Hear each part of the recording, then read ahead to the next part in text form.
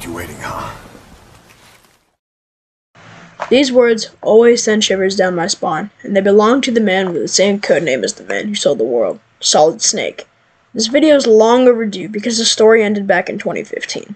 But without further ado, let's dive into the story of Metal Gear.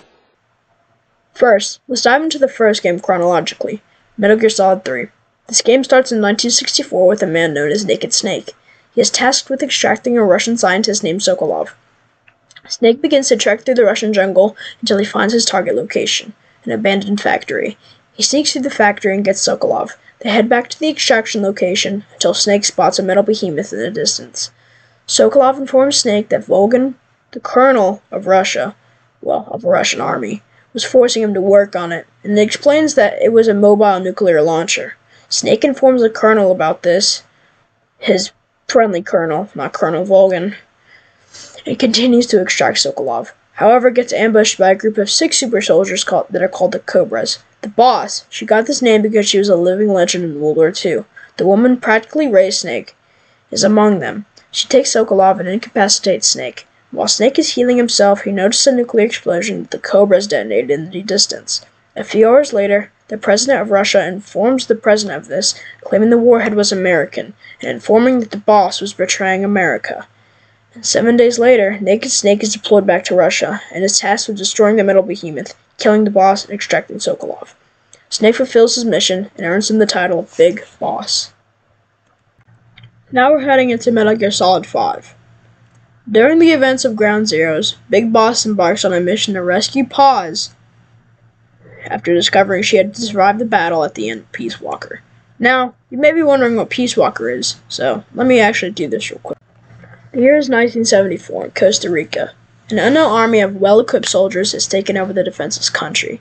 The soldiers have also brought along a nuclear warhead named Peace Walker to set off their last nuclear warhead for deterrence and demonstrate their power with the perfect deterrent. Snake, as he runs the mercenary unit Militaires Sans Frontières, which is Soldiers Without Borders, he makes this army because he betrayed America and wanted to run his own army, an army without borders. Paz was an asset, a double spy even, who betrayed Snake. She was thought to have died at the end of Peace Walker, but she ended up surviving. Ground Zeroes, the standalone game that is a prequel to Metal Gear Solid 5, is the story of how Big Boss saved Chico and Paz. Chico is Paz's younger brother.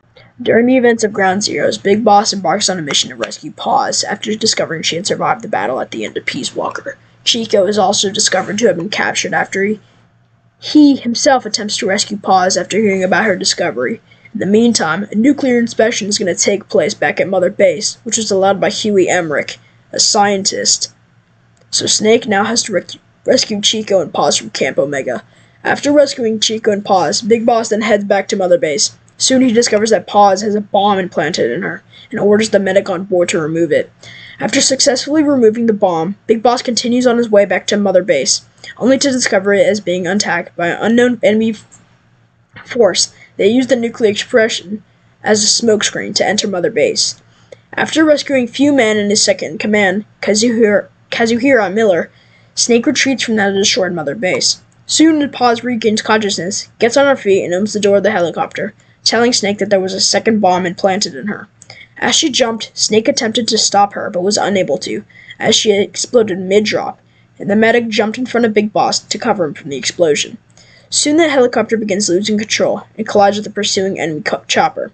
Soon, Big Boss, Miller, and a third unknown person are sent to a hospital where Snake falls into a coma for nine years, and thus begins the events of Phantom Pain. The detail the story deals with Big Boss's quest for revenge and those who destroyed Mother Base, along with the Foundation on Diamond Dogs. Now, these next are going to be really like big spoilers, so if you don't want to listen to any, just click off the video. Hospital raid. Now, the hospital raid was whenever Snake awakened from his coma, looking around as the nurses are managing the room. One of the nurses is about to leave. Snake groans and catches the nurse's attention. She gets closer to Snake to inspect him and is shocked. Then she runs out of the room, screaming for the doctor. Snake then loses consciousness again. A few days later, Snake awakens to the doctor's voice, who is instructing Snake to move his head around. Snake does as he as he says, and then the doctor ex- proceeds to explain that Snake has been in a coma for nine years. Snake begins to come into a panic, and the doctors order the nurse to inject Snake with a sedative. Snake falls into slumber once again. Several more days pass, and Snake wakes up once again to the doctor standing in front of him with a board set up. The doctor begins telling Snake about his injuries that he received in the accident, saying that there were over a hundred foreign bodies inside of him, most of them being removed. The doctor then says that there are shrapnel that they cannot remove, one being in Snake's heart and the other being on his forehead. The doctor then places an x ray of Snake's upper body and telling Snake to look down. Snake does so, noticing his left arm is missing and begins to panicking again. The doctor calls for the nurse and he injects Snake with a, with a sedative again, causing Snake to fall unconscious. A week passes, and Snake awakens the nurse and the doctor arguing in another language, and then the doctor approaches Snake, stating that he shouldn't have awoken, and now his face must be changed immediately. After, after some time, the surgery was complete, and the doctor begins removing Snake's bandages and remarks that his face is healed nicely. The doctor then tells Snake that as of now, his name is Ahab. A mysterious figure then appears into the room, grabbing the nurse standing behind the doctor and begins choking her, eventually killing her. The doctor grabs a photo of Snake from nine years ago and shows, shows Snake the old photos. The doctor puts the photos down and grabs a mirror to show Snake one final look at himself. As the doctor is holding the mirror, the mysterious figure begins choking him too. The doctor attempts to fight, pulling out his gun, but he kicks Snake from the bed, and as Snake is on the floor, the doctor is killed and drops his weapon, landing in front of Snake. The assassin walks away and makes a call, saying that a patient in another bed saw her. She hangs up and begins slowly walking towards Snake and notices him reaching out for his handgun. She picks up the weapon and aims it at Snake before being insulted by a bandaged man. She throws him off, pulls out a knife, and begins walking towards Snake and the other patient. The bandaged man throws objects at her, including a jar of alcohol, which breaks. Now the assassin is covered in it. The assassin throws a knife at the man, hitting his right shoulder. The assassin then makes her way to Snake and grabs him. She lifts him up to his bed and begins choking him. Just then, before she can kill him, the bandaged man finds a light and throws it onto her. The assassin bursts into flames from the alcohol that was on her, and she starts screaming in pain as she moves across the room. The assassin makes one more attempt at Snake's life, but the bandaged man finds another jar of alcohol and throws it at her, causing more flames to erupt from her. The assassin then jumps out of the window, presumably dying. Snake lifts his arm and sees now he has a prosthetic arm as white petals are gliding through the air. The bandaged man then goes on to say it is time to call. Or go, calling Snake Ahab. The man reveals himself to be Ishmael, and he's been watching Big Boss during his coma, injecting Big Boss with a dose of dioxin in the hopes of helping him move. Ishmael proceeds to lead Big Boss to the hospital, but not before coming across the third child, who floats through the ceiling, and after he disappears, flame, flames appear in the elevator, and an explosion occurs, throwing Big Boss and Ishmael back. Big Boss's arm was also dislocated when he landed on the ground. The man on fire suddenly appears from the flames, making his way towards Big Boss, but is driven away when the fire suppression system is activated, with the man seemingly evaporated. Big Boss and Ishmael regain their composure and continue down another way out of the hospital. Ishmael spends the next 20 minutes teaching Big Boss the basics of stealth and on-field medical care, fixing Big Boss's arm in the process, sneaking past masked men who were killed any who were killing anyone residing in the hospital in the search for Big Boss. The duo are eventually found, but he's saved due to the man on fire's sudden appearance. Driving away, the man with the with the use of the sprinkler system Ishmael and Big Boss continue to check through the hospital, making their way to the hospital entrance. Ishmael distracts the masked men in the room, giving Big Boss a chance to sneak out, but not before another appearance by the man on fire and the third child, who begins attacking the masked soldiers. The two escape, only to be attacked by debris launched by the man on fire. The vehicle is forced off the road and the two are knocked down in the ensuing crash. Snake ends up rescuing Ocelot and, and Miller. They then begin to rebuild their army without Boulder, or um border, and they call it Mother Base. Diamond Dogs. They're on a quest for revenge by killing um Skullface and his army. They end up figuring out about Sahelanthropus, a Metal Gear that can dispose of nukes and detonate them. Metal Gear Solid 1. Solid Snake, the clone of Big Boss, a soldier who infiltrates a nuclear weapons facility to neutralize the terrorist threat from Foxhound, a renegade special forces unit. Led by supernatural soldiers like the Cobras. The leader of the terrorist force, as Snake figured out, was his brother, his clone, that was made with the recessive genes of Big Boss. Solid Snake was a clone of Big Boss, but he had the dominant genes, considering the fact that he looked so much like him. Snake liberated the hostages and stopped Liquid, Liquid Snake, and his terrorists from launching a nuclear strike. Metal Gear Solid 2. Four years after Metal Gear Solid 1, Solid Snake is deployed onto a tanker.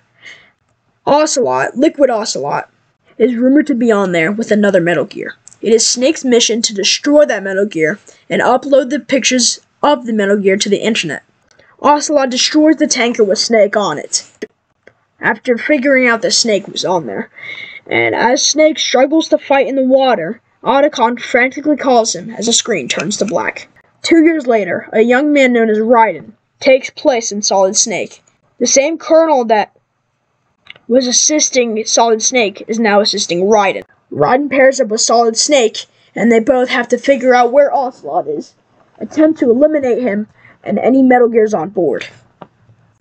They meet Solidus Snake. Solidus Snake.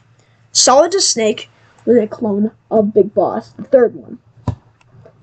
He was stronger than Solid Snake, and he was made to be a super soldier. Raiden ends up defeating him with swords, and then the pair destroy Metal Gear Ray. Well, not destroy. Metal Gear Solid 4, set five years after the events of Metal Gear Solid 2, Sons of Liberty. Solid Snake is now very old. The story centers around a prematurely aged Solid Snake, now known as Old Snake, as he goes on one last mission to assassinate his nemesis Liquid Snake, who now inhabits the body of his former henchman Revolver Ocelot under the guise of Liquid. Snake ends up figuring out that he is pre- prematurely aging, not because of the FOXDIE, a chemical that was injected into him during the first installment of the game, Metal Gear Solid 1, to destroy Liquid. But whenever they cloned him off of Big Boss, they had him prematurely age, so no other PMC company could take him and use him for their own. Snake ends up eliminating his rival, Revolver Ocelot. Snake retires and ends the Metal Gear Solid story right there. I hope you guys like this story. I this is like my first kind of these videos, so if like my voice is a little choppy, just because I'm using this weird like sound recorder thingy. So, yeah. I'm Crazy Kid 14. Later. A man fires a rifle for many years, and he goes to war. And afterwards, he comes home, and he sees that whatever else he might do with his life build a house, love a woman, change his son's diaper he will always remain a jarhead.